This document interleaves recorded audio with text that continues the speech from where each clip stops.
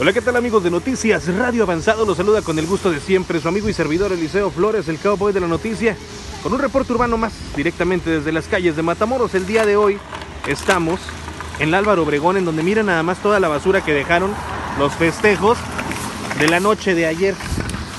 Ayer por la noche, después de estos festejos que se realizaron, ¿qué más es lo que se ha encontrado, amiga? Pues bastantes botes, bastante basura que hay. ¿Los mandaron directamente para acá o ya sabían? Sí, no, no sabíamos y nos tocó venir para acá.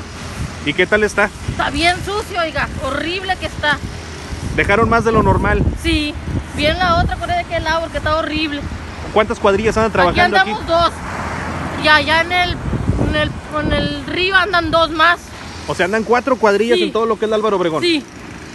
Cuatro cuadrillas de limpieza pública para, eh, pues, hacerse cargo de toda la basura que se quedó durante los festejos del campeonato del torneo de fútbol de ayer. Que bueno, pues como sabemos, quien se coronó campeón fue por ahí los Rayados de Monterrey. Vamos, globos, envolturas de fritura, inclusive hay una, dos, tres latas de espuma y bueno, pues cantidades impresionantes de basura que han estado recogiendo todas las personas que andan aquí de las cuadrillas de limpieza pública. Que pues bueno, ya nos comentaron y ya lo escucharon ustedes. Mucho más de lo normal. Dejaron un mugrero, fue lo que dijo mi amiga. Este es un reporte urbano más, directamente desde las calles de Matamoros.